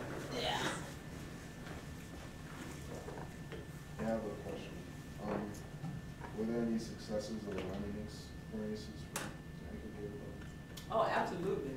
Um, one of the things, one of the exciting things were with the kids. The young people were very um, excited about doing it. They actually did a bakery co-op. So they love to make pies, and so they would make pies and sell them around to, to different groups. And they're actually still working on that. You know, we, you know, trained them, and they're, they're doing their own thing. They, they have facilities at school and stuff like that, so that's working pretty well. And so that's, that's, that's, that's one of the, the, the good lessons is that, you know, we, we tend to think that young people don't have whatever it takes to, to do things, but they, they have a lot more energy and excitement than we realize. And so that's a good area to really work on. And they get it, you know, they get it and they love it. Yeah. Uh, I have a question about the, uh, wage structures in, uh, in the project, the farm project that you're working on, and, and also the other, I really could relate to the others. Um, what's the wage differential look like when there's cooperative ownership? You know? Sure, well, the, um, in the Mondragon model, we have between six and nine salary levels between the uh, bottom and the highest. Uh, we found that that uh, produces uh, wage and community solidarity. Uh, and our goal is to create a rising middle class. So in Mondragon, which is a blue collar, working class town, about thirty-five thousand people, you don't have any big mansions, but you also don't have anybody sleeping on the streets. Right on. Beautiful there. And, and is there tension created in, in, even in that model, uh, across, you know, like how, because I think one of the challenges is that folks just don't understand, if you've never been a manager, and what a manager does per se, and why do they get paid more? You know, like, is there, how does that, how does that tension get worked out? People tend to forget that cooperatives are very efficient, competitive business organizations. In the Mondragon cooperatives, we compete against the Germans for engineering, we compete against the Italians for design. Uh, we're lean, but without being mean. So, uh, we really want good CEOs, good CFOs, good marketing people, uh, good production engineers. We want high, uh, quality production personnel because the functional, uh, aspects of a company, no matter how it's structured, is always the same. Um, and, and, and to make sure that the business cycle and your entity, however it's structured, is, is profitable. Um, what we do is we have, um, you know, one worker, one vote, uh, an equal access to equal share ownership, and only six to nine salary differentials, so that, uh, when profits come in, um, you know, everybody shares it in an equitable way, and people's opinions and rights are explained. The other side of that is when things fail, everybody gets to participate in bailing themselves out. Um, you know, we don't think about that part, uh, enough either in our models, but, um, at the closing session, I'm gonna talk a little bit about that, because sometimes we learn, you know, more from our failures than our successes. However, what this does is, uh, we can't, um, we can't discount what having an equity, uh, piece does to your mentality. People are willing, uh, to do a lot more when they feel that they own, uh, their enterprise, um, and when their opinion is consulted. Uh, and I think that, um, we try to strike a balance between paying a family and community sustaining wage, uh, having ownership that is a real, is a real deal, creating a solidarity economy, and making sure people don't lose their benefits, that they have optimal benefits in the process. And I think we, the union co-op model, as Dennis explained, that we put together, we try to put all of those elements taking the Mondragon experience and then translating it into an American context. And- And does, do you know about what's going on with, this art? is that the Mondragon model that's being used in it? Okay. Um, I don't know if they've got in the bylaws the, the ratio or anything in there yet, but, um, I know that they pay the, so the farm manager gets paid a little, you know, his scale is gonna be a little, you know, I think it's up, you know, a little bit higher, but, you know, he brings all twenty years of organic farming experience, you know, so that's worth something, think the other thing is, is that, um, I, I, I think I missed some of this in the presentation, but so the, what do the unions bring to the table? Well, one of the things the unions bring to the table is collective bargaining. So, you know, you have a worker committee that's gonna sit down with the management and have that discussion with other worker owners and, and they're also, those worker owners, so the worker owners are gonna elect the union committee, they're gonna elect the board of directors who appoints the management or maybe the management's directly elected, but everybody's worker owners and everybody has a say, and with the union model, the workers' rights are specifically addressed in the contract. And, um, and so the equity side of that, you know, is, I think, further defended with, with the, the collective bargaining part of that. The other things that the, the, the unions bring to the table, um, are that we're gonna be able to bring leverage on healthcare costs, and we're gonna hopefully be able to bring a healthcare package to the table that is gonna be better than a lot of businesses by themselves, because we have one point three million members, so we can leverage, you know, some lower costs in healthcare. We have pension funds that we can bring to the table, and I think a very, um, you know, important, um, other benefit is the unions bring to the table a political arm. And given the discussion that I threw out there on the, challenge of Walmart and corporate power in our democracy, that is no small thing. So why is it that the Koch brothers and the right wing are doing, you know, unleashing every resource that they possibly can to pass right to work, to, um, you know, get rid of, uh, state-owned liquor stores with union contracts, public bargaining, to attack the union movement, because they understand that in the United States, as low a density as we are in movement, that the unions in the United States are the last organized opposition on the left. And if they can, if they can destroy the unions, um, we're the last thing standing between them and total corporate rule in, in the United States. And so they're, they smell blood. And so for the unions, to be able to go with this model into the co-op world and help, and have it be a growth strategy for the unions is going to be important. And also, I think if you look at the co-op least, world, at least my experience is, um, there, that it ranges from, um, very, very, almost, you know, not very political to almost apolitical, to almost taking, some people in the co-op world I found take a pride in not being involved in politics. And I think that, uh, not, not everybody, but I'm just saying there's a range, that range, and I think it's a mistake that we cannot, we cannot let sort of the corporate message that government is evil, and incompetent, and unable to do anything prevail, because they don't believe that. They, they are telling us that so that they can, so that we don't care about the government Right. anymore, and that they can seize the government, and you can, you can just count, you can count on it that they will, they will not hesitate to wield the state against us. And so we cannot afford to abandon politics and abandon the state to the corporate elite, to the corporate polluter. Here, here.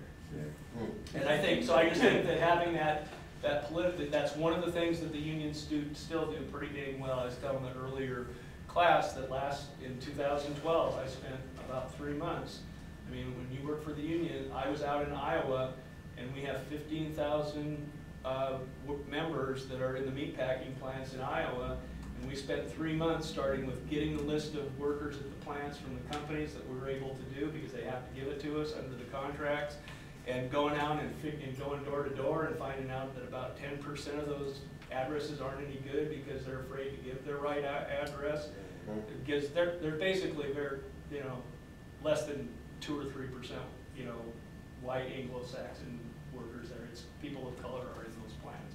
And, you know, and a lot of them are scared, I mean, and then some are citizens, but they speak Spanish, so if you run into someone, and if I'm going door to door in Ottumwa, Iowa, and it's, uh, someone who speaks Spanish, I have to mark it down on the list, and we go get a, uh, organizer who speaks Spanish, and they go back to that door. We get them registered to vote, we find out whether they're gonna support Obama, and we go back and we bring them the absentee ballots, and we make them fill it out in front of us, and we bring it back, and we turned out the vote in Iowa, and Obama won Iowa, and everybody, you know, everybody, a lot of people talk about how, well, Obama's not, you know, he's sold out, or he's not as great as we all thought he be.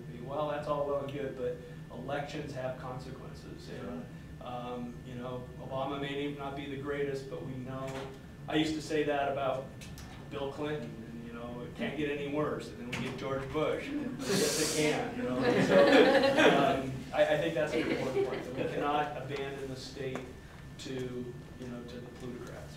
Sure. So, uh, I don't know, I, I guess just quickly, we, we have a similar ratio in terms of evergreen to, to five to one ratio, that's what we've done. Um, Just on this specific question. Yes. Certainly agree with uh, Dennis's point on politics, so. Don't have much to add on. I, I don't know if I missed this, but can you talk a little bit about how Evergreen became funded? in the first place? Um, yeah, I, only so much I can cover. Um, so the funding came from philanthropy, from the Cleveland Foundation. Um, what they did, so there's a couple sorts, so how much does evergreen cost? I sort of, I sort of put it in two ways. So there's sort of operating expenses, you know, uh, doing a lot of what, what sometimes is called the pre-development work, but the market research, the actual, um, you know, writing of the grant applications, uh, the wraparound supports, that kind of thing. And, and just to put round numbers on it, because I've never seen real numbers, so I have to guess. Um, I would say round numbers, about a half million a year is what's being spent. Um, and then there's a one-time capital raise from the Cleveland Foundation at three million that provide the seed capital for those build businesses. The businesses, you know, the, the greenhouse is a sixteen million dollar capitalization, um, the, um, uh, laundry is about six million, and the solar is, you know, several million as well. So, in other words, that three million leveraged another thirty million or so. Um, so the, the, so, you know, the, you don't need all of that to be, um, equity money. Most of it can be debt in, in different forms, uh, or quasi-equity like, um, New Markets Tax Credit, which converts into equity after seven years. Um, but that's, that's kind of the, so, you know, it depends on how you look at it. Um, you know, it's not uncommon, speaking of politics, uh, there was a Mercedes plant that was built in Alabama at the cost, federal, uh, state, local subsidy, tax subsidy of more than two hundred thousand dollars per job. This, this is, this is, this is routine. Uh, Boeing Corporation, uh, you may be familiar that the state of Washington just last year uh, passed eight billion dollars in subsidies for over sixteen years, so five hundred million a year that Boeing gets as a check from the state of Washington, uh, just to keep a facility from moving from Seattle to somewhere else. So, so in that sense, uh, this is pretty uh, inexpensive, and you're actually creating new jobs. But, but, but it is, it's an R and D process. So, I mean, if you're looking at a typology models, and actually over here, I can wave an example of, of somebody actually, her group actually did a typology models. So there's a union co-op model. Um, you know, the evergreen thing, co-ops may become unionized at some point, but right now they're not. Uh, there's the, the, there's the evergreen model. There's, uh, you know, an incubation model sort of based on like a, a co-op academy type thing where you basically train people on business development and give them tools, uh, and then they develop on their own. Uh, there's a nonprofit incubator and spin-off model, which is sort of the, the wages and maybe this sunset group you were talking about. Um, so there's, without even thinking too hard about it, there's at least, and then, you know, the co-ops themselves can fund new developments, like the Valley Association of Worker Cooperatives. So, you know, there's at least five different models without thinking about of, of ways of, of doing this work. Um, and, you know, uh, I think, you know, there's a, so, so there's a lot of different tools that hopefully you can think about and, and sort of figure out what makes sense in or what combination of things makes sense in, in your community. But um, the model that we're pursuing in particular really relies on either philanthropic or sometimes it could be an economic development corporation, but some kind of financing support. Uh, because we're working in communities where people don't have the capital to put up the money themselves. Um, and then the, the worker owners buy in over time through a payroll deduction, so that, that, that's how that ownership actually occurs. Um, so once you're hired, there's a year candidacy period. Um, and then you're, you're voted into the cooperative, then you pay a percentage of your, I think we did fifty cents an hour for the next three years to, to uh, buy into your share for the cooperative. Are there any, um, examples that you guys know of, of, private pro- for-profit companies that have converted into cooperatives? And how does that? It's But how's that look? done. But I- can, right? It, it's, it's done, um, you know, and, and I should mention, while the number of worker co-ops is really small, there's something called ESOPs, employee stock ownership plan companies. There are about ten million people in those. So the, the, the notion of employee ownership in the United States is not so rare. Um, and, and most ESOP companies, the majority of them, started out as private companies that were later converted into employee ownership. And you can do that for worker cooperatives. There's a select machine company in Ohio where that was done. Um, more recently, there's a, a solar company which uh, called Namaste uh, Solar uh, in Colorado, which is the largest solar installer in the state of Colorado. They have about 25% of the market, uh, about 80 worker owners at this point. So that started as a private company, was converted into employee ownership. And under uh, U.S. federal tax law, uh, there's the famous Section 1042 rollover, which I'm sure is, just rolls off the tip of your tongue, right? It's not that famous. Yeah, a little bit of, uh, yeah, I always talk about the famous section nine thousand seven of the Affordable Care Act too, that's a different story. Uh, we will mention that a little bit. But ten forty-two, what it does is it's, uh, capital gains rollover, so, um, if, if, uh, if it's a private business and you sell to your employees under federal law, uh, as long as you sell at least thirty percent of the companies to the employees, and as long as you reinvest those proceeds in some kind of domestic stock, can be almost anything as long as it's listed. Uh, you don't pay capital gains until you sell that stock, so that's a deferred capital gains benefit. It's about a two billion dollar a year subsidy, for encouraging, uh, company owners. And typically when they retire is when this occurs. Um, and if they don't do this, typically the companies fall apart and people lose their jobs. So it's actually, it's actually an important strategy, particularly given that we're entering the baby boom retirement period, uh, to be thinking about this. I just want, go, ahead. okay, I just wanted to answer your question.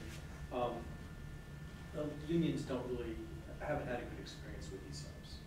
Um, that's a generalization, but it's pretty much what labor thinks. And the reason, reason is, is because, um, ESOPs can be multi-class stock.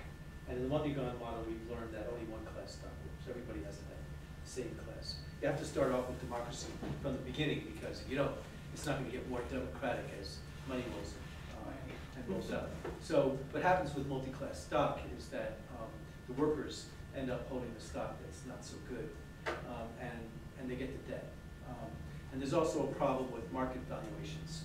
Uh, the Department of Labor feels that one-third of all ESOPs in this country are fraudulent, because the market valuation, um, ends up not being transparent, and, and owners sell their company to workers because they can't sell it to anybody else, and workers end up subsidizing the owner instead of the reverse. So I, I think there's good ESOPs, and, you know, we know a lot of them, um, right around here. Uh, Dansko is a great ESOP, uh, it's also a B corporation. Um, Eileen Fisher is a, a great ESOP, B Corp, so you can do it. But it depends on a charismatic, uh, uh, benevolent, progressive-minded owner, and, you know, that's, that's personality dependent. So, you know, in the Mondragon model, we try to make it so you can have a total jerk um, somehow at the top of this thing, and it doesn't change anything, because the model's the model, and it's got so many robust structures built in to protect the democracy and the equality that you need to be successful um, in the happy ending that you want, um, that um, your personality independent. And I think um, you know, there's a big debate uh, on this. It's gonna have to be a bigger debate before it gets resolved. There's a lot of very wealthy people uh, on the ESOP model because the transaction, again, has made a lot of people very profitable. I think that's wonderful, as long as the workers uh, share equally in the equity. And until I see that, you know, I'm not convinced.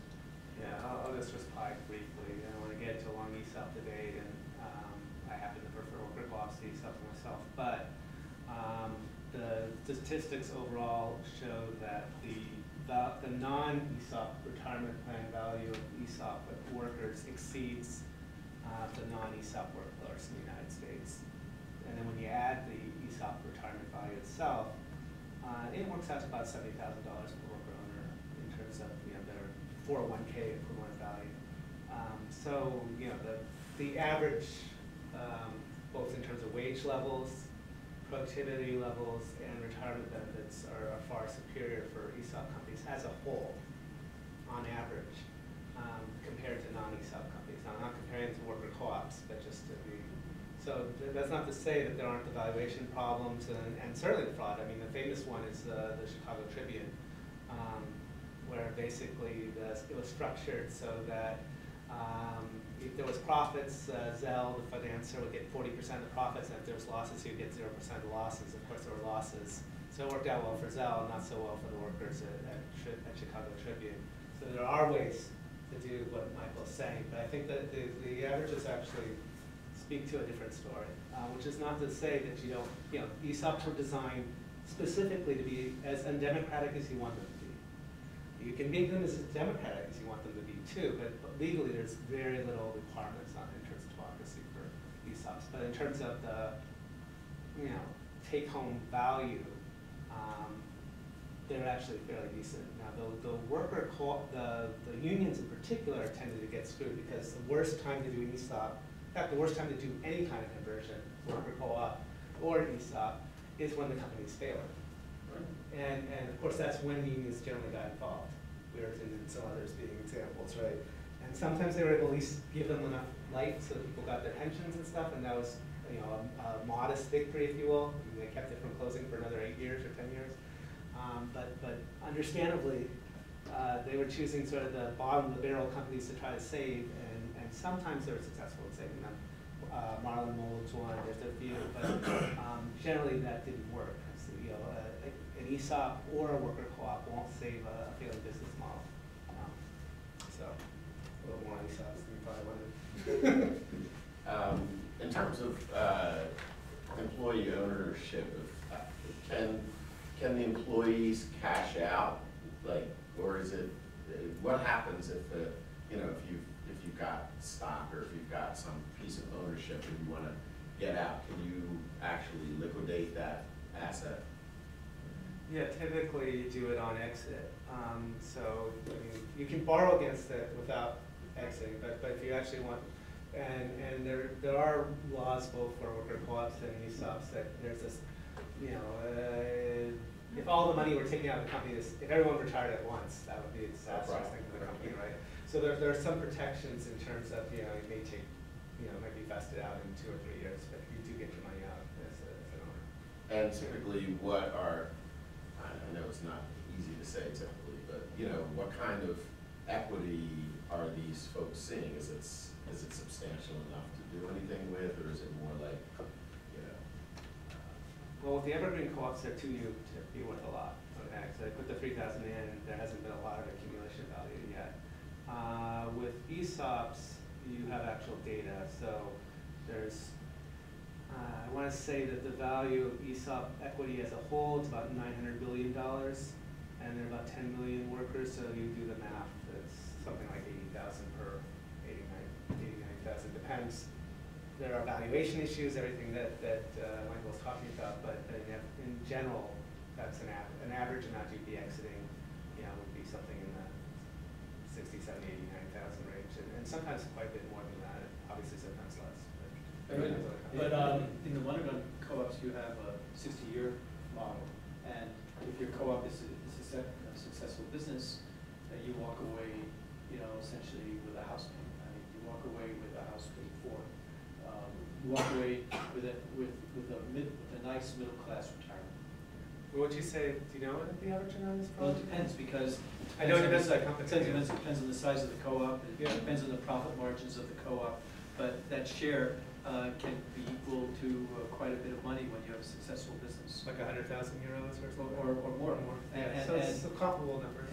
Yeah, and, and so, you know, they have, it's a twenty-four billion dollar group, uh, with two hundred and forty different co-ops of different kinds, so it depends on the business. But just to clarify though, like, at least this is my understanding from the December meeting we had on, in the So in the bylaws discussion, which aren't finalized yet with our harvest, they're talking about probably a ten thousand dollar donation into the individual account.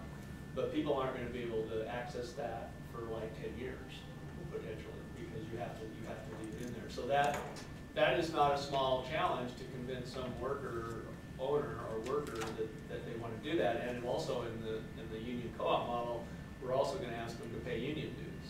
So it's a, you know, it's a pretty big ask, and the other side of it is, is that, um, it was mentioned that it's, it's, uh, there's a probationary period, basically, that, um, it's not, you don't just decide to become a worker owner and, and they're gonna, you're gonna be, you know, you're gonna be in the job for probably a year at least, and that's what they're talking about, and then they're gonna interview you, and I, Cincinnati's talked about, they're gonna go over the ten principles of cooperation in Mondragon, they're gonna go over the union dues, and this is the package, do you, re- are you really serious about this? Because we don't want it, and I think part of, back to the ESOP, so we have Homeland Grocery Stores that I think has about, um, about fifteen thousand worker owners.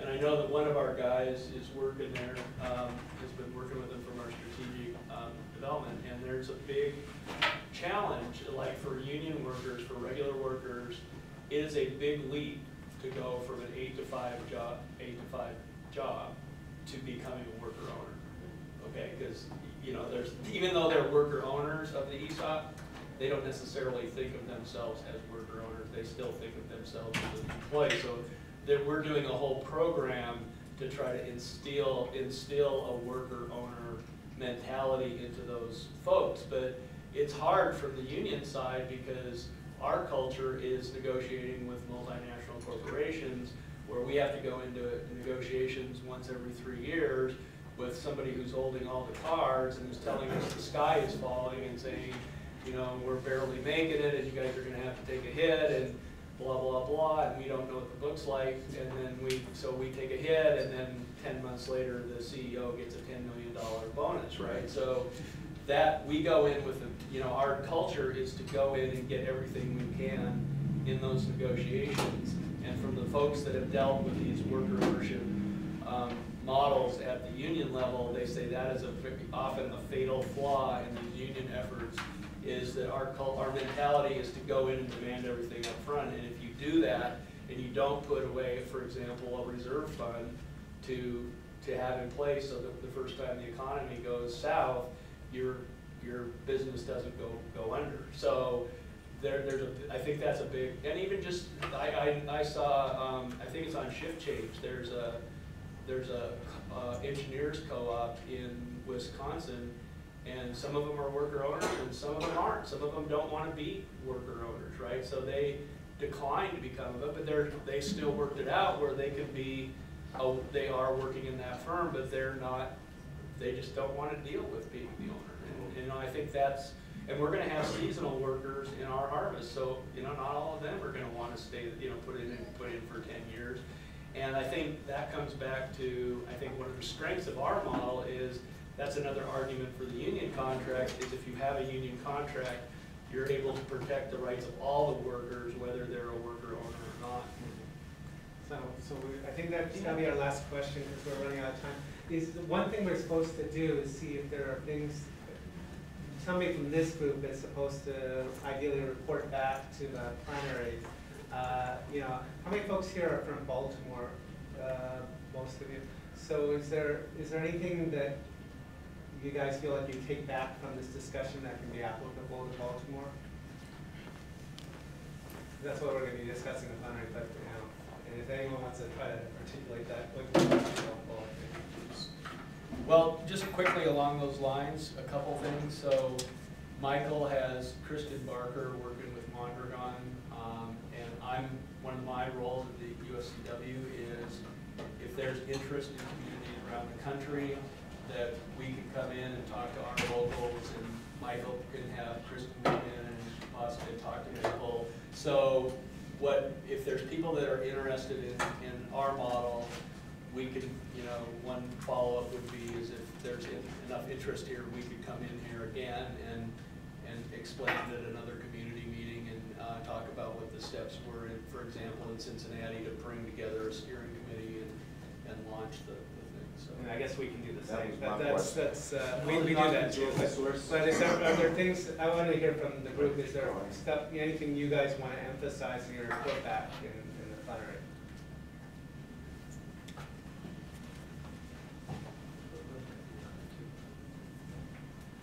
Is anyone here actually trying to form co-ops? Or are you just getting, or, yeah? You want to say a little bit of what you're doing? Um, we're actually trying to uh, establish a cooperative incubator, so I definitely want to touch bases with the lessons learned. Um, But we're looking at putting, uh, creating uh, a training model, a skills training model that partners with existing businesses, um, but creates an augmented service. So for instance, we're uh, partnered with Gutierrez Studios, that's a manufacturer of uh, wood and metal architectural fixtures, furniture, lighting, et cetera.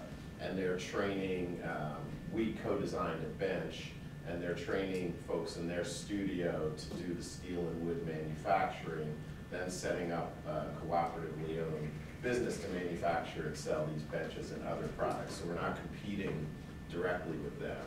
Um, So, and we also hopefully will be licensing some of their designs, because virtually everything they do is a one-off design.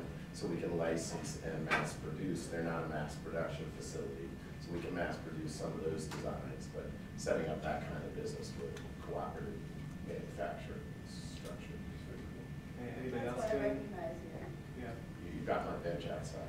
Anybody else doing co-op development, or you, you were at the university, is this, does this resonate? in- Yeah, I mean, I, I'm looking at it from, uh, how can institutions, and, and you spoke to that, you know, anchors, and I was interested in, you know, it is the chicken before the egg, how can we be convinced to enter into a contract if we're not sure that you could, if a, you know, a single farmer, so I'm very interested in, in, uh, you know, food hubs, aggregation models in Baltimore, and how that can thrive, so we can buy locally, you know? I mean, I push them all the time, and there's so many barriers, and that's the one, one of the larger Is barriers. there somebody here who wants to volunteer to sort of speak for the group at least briefly in five minutes? Or, you know? move- I, I can touch it. on Okay. a few things. And your If name nothing again? else, you two. could just Paolo. Okay, great, thanks, Thank So, you, thank you. What's up?